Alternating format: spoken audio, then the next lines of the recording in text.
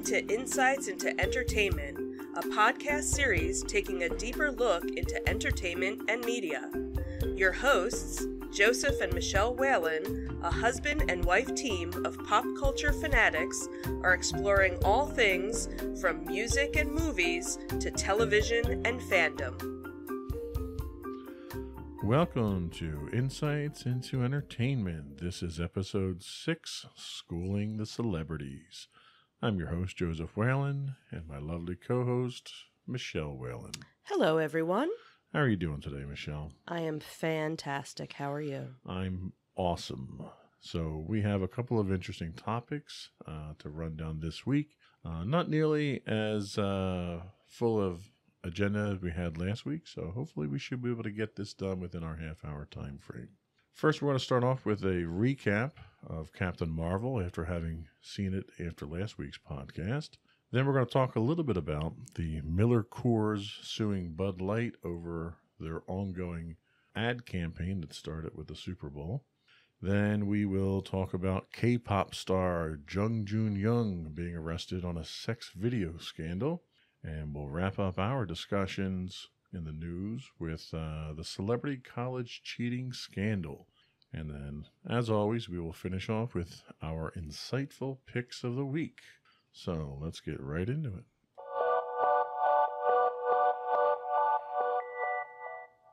So, Captain Marvel, saw it last week. What do you think? Awesome. It was a very good movie. For an Origins movie, it was probably one of the best Origins movie I've seen in a long time. I would tend to agree.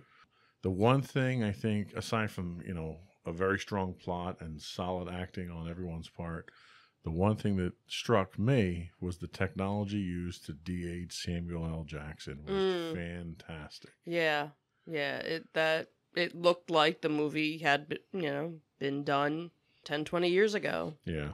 Yeah, I mean the fact that, you know, she landed in a blockbuster video certainly helped that too. yeah, that was definitely all. And the soundtrack, being a, a girl of '80s music and uh, growing up in in that time period, that you know was just kind of awesome. Like, yeah, this is the soundtrack of my high school career. yeah, yeah, absolutely.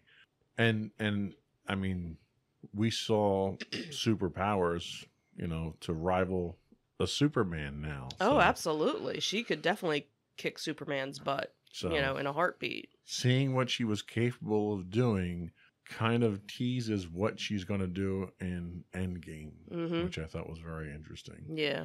And and I think the whole movie itself was a nice setup for hmm for Endgame. now. Yeah, I, I haven't watched it, but I I saw some headlines that uh, there were a couple of fan made Captain Marvel two trailers that a couple of people had had gone out to and made and Yeah. they said you know this isn't official but it looks really cool if this is what they they do with it so it'll be interesting to see you know where you know where she went for so long you know in between this movie and endgame I did like the twist of the Skrulls being the good guys in Mhm. this case here. yeah that were- was that was kind of nice You know, nice little plot twist they were the ultimate evil sort of in the comics. So hmm you kind kind of expected uh, Disney to take a little little twist on that Mhm. though. and of course I, I i want goose to have his own movie too Yes. Well, if if he can consume, you know, the Tesseract and spit it up like a hairball later on, he deserves his own movie. absolutely So, very good movie though. hmm absolutely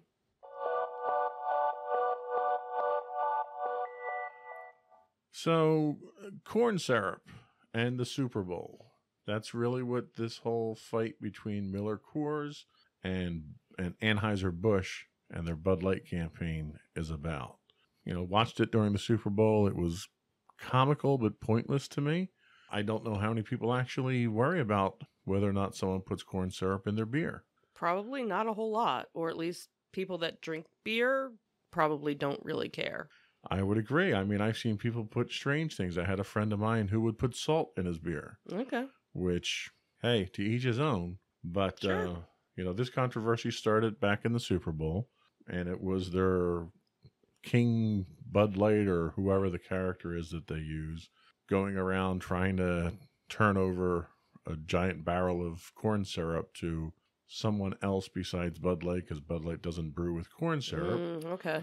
So there was a series of ads for that on TV, and then Bud Light stepped it up with really a shot across Coors' bow when they started a, a billboard campaign in Coors country. They, they put billboards up on a highway leading from Golden, Colorado, where Coors is brewed, to Denver. Oh wow, that's which I mean, it, it, almost seems vindictive at that point, right? It, you know, anywhere else it would have been fine, but there, that's yeah, you're you're definitely uh, poking the the cage with the stick at uh, that point. Absolutely. So this past Thursday, Miller Coors, which is the parent company of Coors Brewing, filed a lawsuit against Anheuser Busch, hmm. who owns Bud Light, claiming that, quote, Anheuser-Busch is fear mongering over a common beer ingredient it uses in many of its own beers as a fermentation aid that is not even present in the final product. Uh, their statement went on to say, This deliberate deception is bad for the entire beer category, which we are showing the world, uh, we are showing the world the truth. They went on to basically claim it to be a marketing ploy which isn't working because they point to the declining sales for Bud Light. Adam Collins, a vice president of communication for Miller Coors, says uh, it's really used only as fermentation, which is the irony of all ironies, is that it's not actually in the final product that you drink. So why why are we at this level? Somebody's bored. Like it's really, you know, maybe overall beer sales are down, so hey, let's you know, let's have a controversy so people will go out and buy our beer and, and taste it and, and see. You know, it's almost like the, the cola wars that, you know, every now and exactly. then between Coca Cola and Pepsi, you know, like people are going to drink what they want to drink. And if you have, you know, th- there's always that person who, if you drink Bud Light, you're always going to drink Bud Light no right. matter what. If you drink Coors, you're always going to drink Coors. There are, you know, are, are people that are very set in their ways you know, with certain drinks, you know, unless you happen to go to a bar and they're out of one thing, you get something else, you know. So I really don't it's kind of silly, but you know, maybe somebody was just bored in in the marketing department, who knows. Well, and and Bud Light responds by saying the campaign's about transparency. Quote, "The recent Bud Light campaign is truthful and intended to point out key differences from Miller Lite and Coors Light. Those beers are brewed with corn syrup, but Bud Light is not. These are facts, the company said in its statement.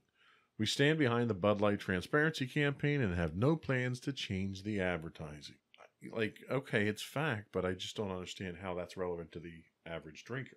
Right. And the other thing, too, is honestly, the average consumer is getting corn syrup in almost everything that you consume. Right. that's that's processed you know soda and uh, juices and you know it, it's a sweetener. It's it's you know what's in everything unless you know you're going full organic and you know and maybe some people that make their own beers you know they're like oh you know would be like oh yeah you could totally taste the difference. And really i i, I just don't i just don't They're just bored, I think. well, and it's interesting the point that you made about beer sales being slow because industry experts have come out and said that this is really just an attempt to attack ingredients and brewing techniques, and it's a distraction from the overall drop in sales that local breweries okay. are picking up on. Well, and that makes sense because you see all the local breweries popping up all over the place. Yeah. and you know it's not only just a brewery but it's you know a restaurant or something you know so people are going and hanging out and, and becoming maybe more social you know becoming more social drinkers as opposed to the person that's gonna go and get their 12 pack you know at the liquor store and and, and just go home. So this is why we can't have nice ads on the super bowl anymore. Anyway moving right along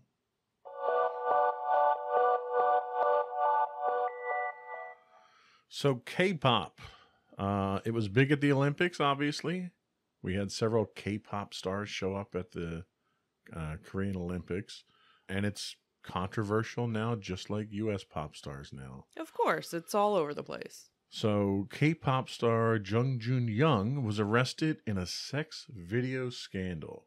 Uh, he was arrested over allegations that he shared sexually explicit videos of women taken without their knowledge or consent. Uh, the arrest warrant was issued hours after he made a court appearance, which he apologized to the victims uh, for his actions. He basically admitted fully to wrong. Now, this is where we, we depart from American celebrity. Right. They would never admit to doing anything wrong for, you know, months on end until finally, all right, yeah, I really did that. yeah, this, this this reads almost like, you know, the ending to a Law and Order movie, a Right. s- a, TV show where TV they show, admit right. to everything at the Right, end. right. Within a nice hour, wrap up. Um, 30 year old Jung came out after he was questioned by police. He delivered a statement admitting responsibility for the charges, saying, quote, I am truly sorry. I admit to all charges against me. I will not challenge the charges brought by the investigative agency and will humbly accept the court's decision. I bow my head in apology to the women who were victimized by my actions. That would never happen in the US. Oh my god. This would be dragged through the courts. It would be Mm-hmm. Settled out of court. Mhm. Nobody Yep. would have blame, and the victims would never have any kind of redemption. Right, right. And and that kind of speaks to the culture Yeah. over yeah. there. They're very, you know, apologetic. They know they did something wrong. You know, we're here, we'll, you know, lie through our teeth and you know, and deny, deny, deny, you know, as long as we can. Yeah. He's currently being held in Central Seoul Police Station, and he's accused of being part of an online chat group that shared sexually explicit videos of women without their knowledge, along with several other Korean celebrities, including Seungri and I'm going to pronounce this wrong, Cho Jun Hoon, I think. Uh, they're also alleged to be members of the same group. Now, if found guilty and having coming out and admitted your guilt, I'm not sure how you wouldn't be found guilty, but if found guilty, he could face up to five years in prison or a fine equivalent in U.S. dollars to $26,000, which I think that's a pretty, you know, low sum considering the damage you probably did to some of these people. Right, right. Plus Um, the fact that, you know, you're a K-pop star, you probably, you know, can afford that. can afford a little bit more than that. Well, and uh, Jong was dropped by his management company, Makeus Entertainment, in light of these allegations. So he might not be bringing in the same kind of salary he That was is true. before. Yeah, I'm I'm guessing his career is probably probably over Yeah. unless he goes to, you know, and it could be one of those things where he doesn't perform in Korea anymore but goes to another country, you know, you know, 5 years from now and you know, restarts in, you know, in another band that, you know, that could happen. There have been a number of, you know, celebrities all over the world that, you know, have had some sort of sex scandal Sure. uh, Woody Allen, you know, comes to mind who Well, who keeps more than one sex scandal. well, yeah, you know, and his whole life has been a his sex scandal. his whole, you know, and and still, you know, makes movies. So, you know, unfortunately, it's a very forgiving, you know, uh, career path. I just thought it was an interesting story uh, comparison since we've been talking about the Michael Jackson documentary and, Mm-hmm. and the controversy that surrounds him as well. So, very interesting take culturally hmm Absolutely. than in the U.S.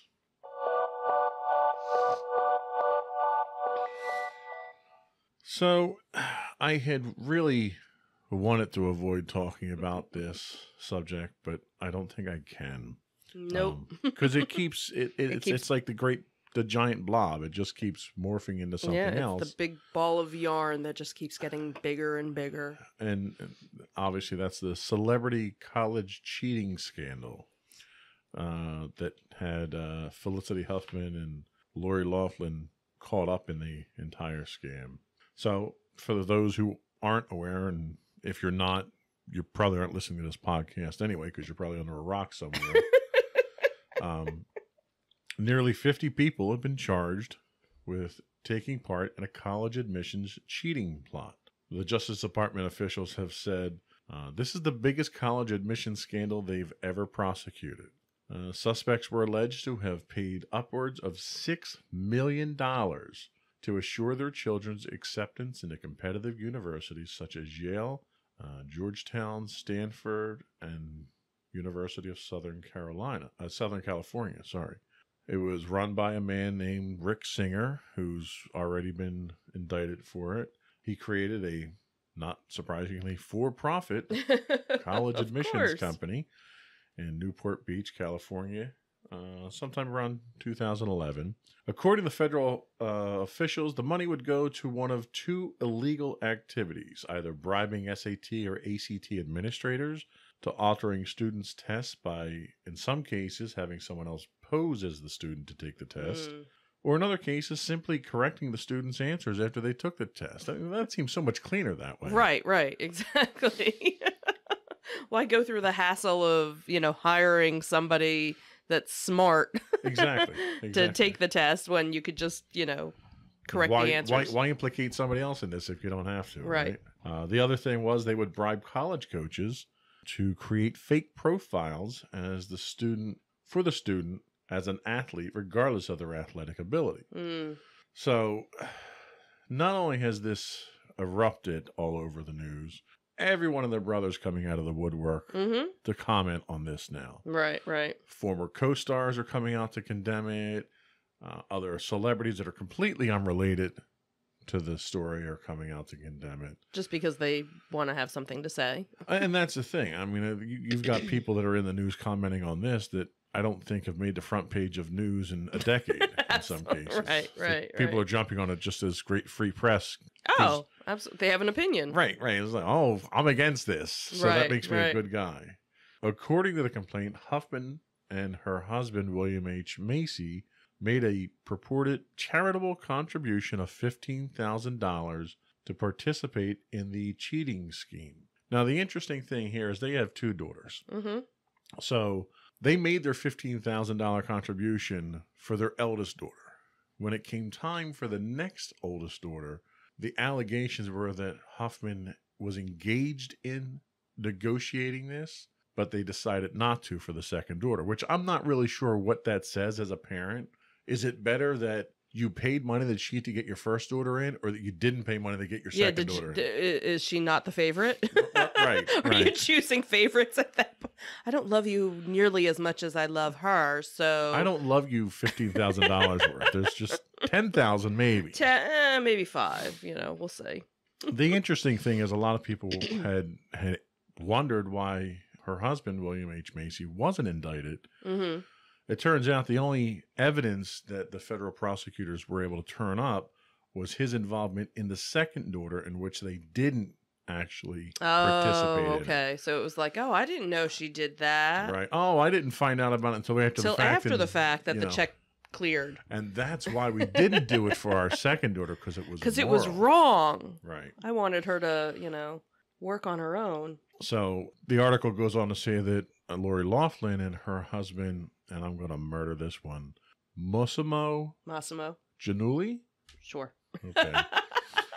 they allegedly agreed to pay bribes totaling $500,000 in exchange for having their two daughters designated as recruits of the USC team, though neither of them participated in crew team. Right. I remembered seeing that where they posted pictures, you know, on their Instagram of them, you know, at like the crew uh um warm up room or something and Yeah. you know, they were never even part of the team. And I think both of them now have left school I they believe so, I yeah. believe they, you know, with all the allegations they actually have left while all of this is settling down. So, so what are your thoughts on this whole thing? Would you, you know, assuming our daughter is wants to go to one of these colleges and is not eligible for whatever reason, would you pay a bribe to get her in? No, no. There's there are hundreds of thousands of different universities and colleges out there. And if, you know, if one isn't accessible, there's something else that is because then what kind of a, a message are you sending to your your child at that point oh well i can take care of anything for you. Right. you know it, it becomes that whole you know oh you did something wrong here mommy and daddy will fix it.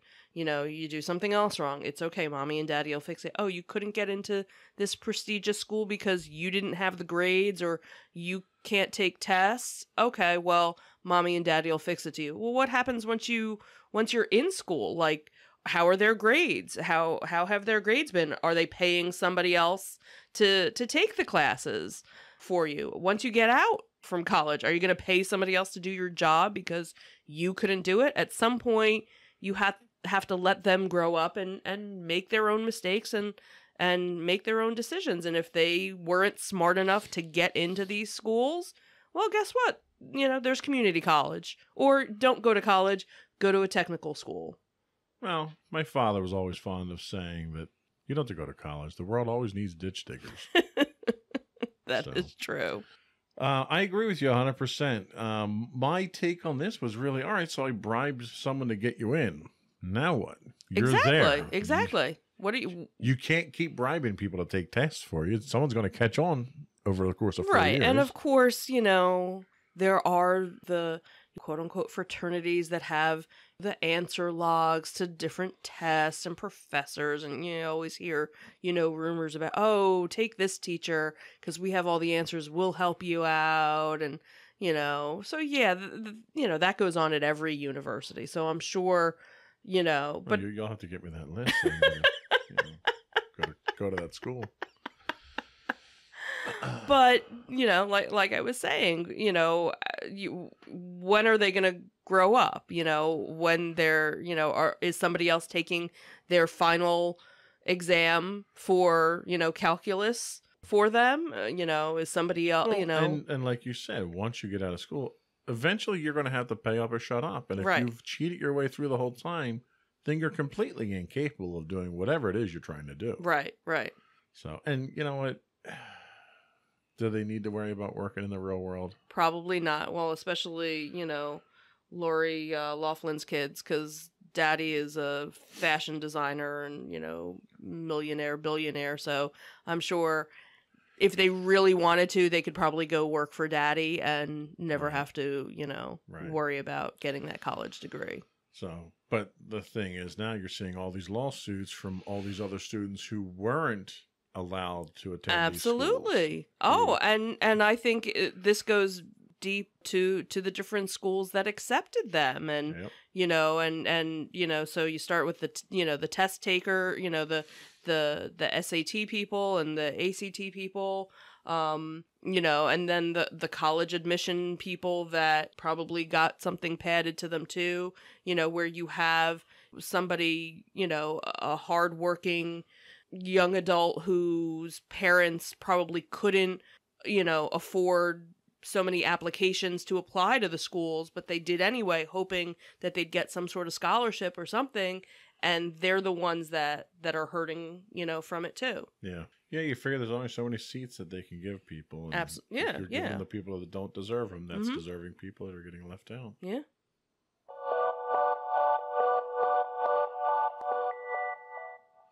So it was a short news week, and I think that that was all the news that really caught my eye this week. Um, so I think we are ready for our insightful picks of the week, and I will bow to you, my dear. Sure. So my insightful pick of the week is another Netflix show. Um, I really don't watch a lot of reality shows um, because some of them are just so scripted and so Unreal. unreal. Um, but one that caught my eye when it originally aired um, was called Queer Eye for the Straight Guy. And it was a very interesting show because it took five gay men and they would go and help some straight guy kind of go through like a, a makeover and some of the guys were kind of down in their luck or they were married or dating somebody and just had a, a poor outlook on life and these guys would go in and help to reshape them and do like a whole makeover of their apartment or their house. There'd be grooming there'd be cooking basically you know make them a better better person. And about three years ago um, netflix actually rebooted the franchise just calling it queer eye again with five with the fab five that now were centered around for the first two seasons they were centered around the atlanta area season three actually just came out uh, the middle of march now they're in the kansas city area. So they kind of set up shop and then they they get nominations from various people that say, hey, you know, this person is such a hard worker, um, could really use your help, uh, whatnot. So, like the the one episode was a um, a wife who is also a prison guard and very into camo and just not very girly looking and they go in and, and transform everything and and you know they basically say feminine is whatever you make it to be. It's you know it can be you know if you like masculine you need to stop the stereotypes of masculine and feminine. It's whatever you like. If this is what you like then that's you. So lots of positive messages and all of the seasons they've they've done they've helped women they've helped men they helped uh, two sisters. There have been some people that were gay some you know some lesbians. So it, it's a nice cross culture you know the one episode that that was really kind of touching was it was obviously not too long after the election and here they're in georgia in a red state and they were and they were helping a very a very big Trump supporter. And here you have five gay men. And you know and it was interesting to see how they were able to break the barriers you know where where the guy that they were helping said you know what?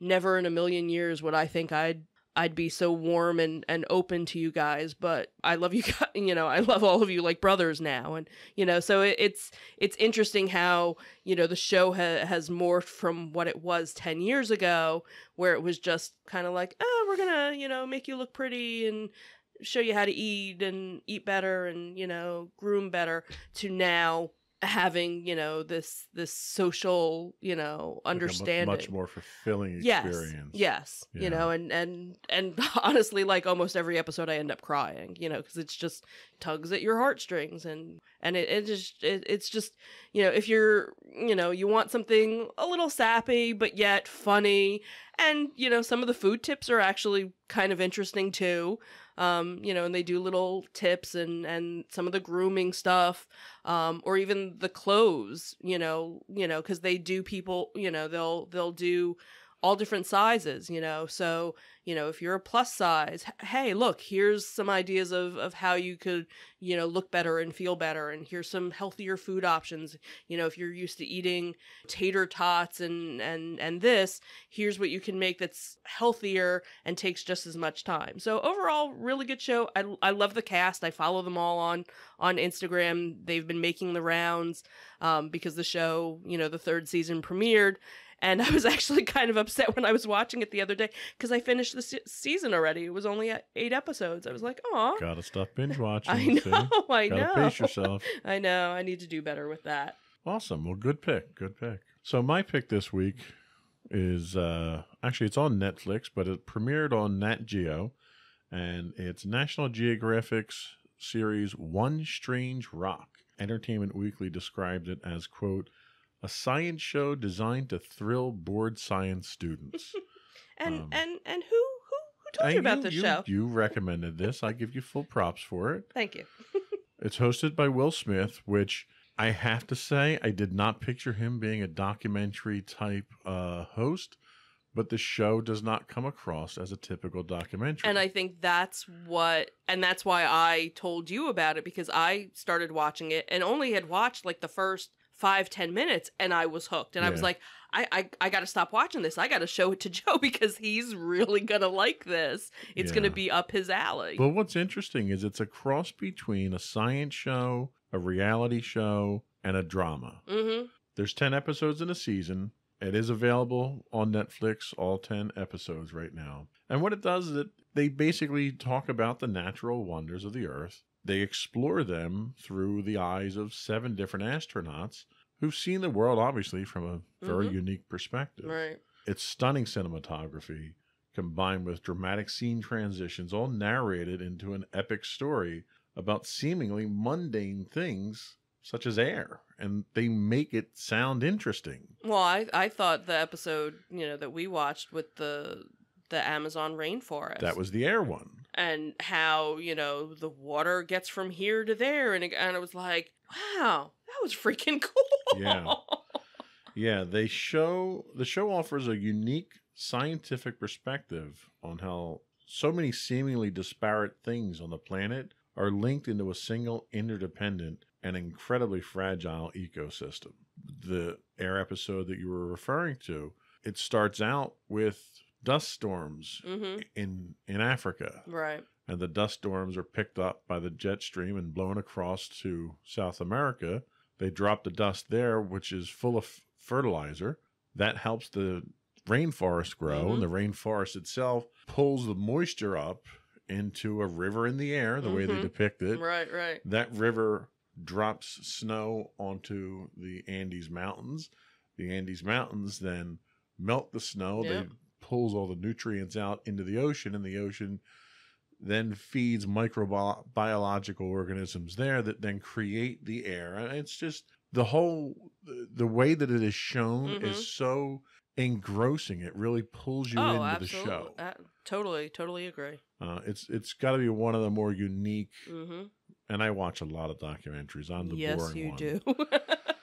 and it's it's got to be one of the most unique ways of of showing Mhm. science that really catches people who aren't in the documentaries right. Right. because it plays out like a story It does. It does. and at the end you see where all the dots connecting you're like wow i get it now Yeah. Mind blow.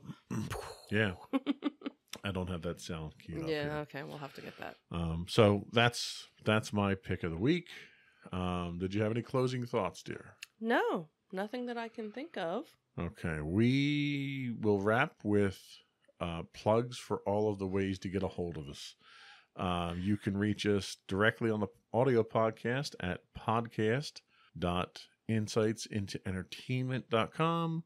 You can reach us on our website at www.insightsintothings.com. You can reach us on YouTube at insightsintothings.com for video versions of these podcasts. You can reach us on Twitter now at insights underscore things, or you can email us with your questions, comments, and suggestions at comments at insightsintothings.com. And I think that will do it for this week. Sounds good. Thank you so much for listening.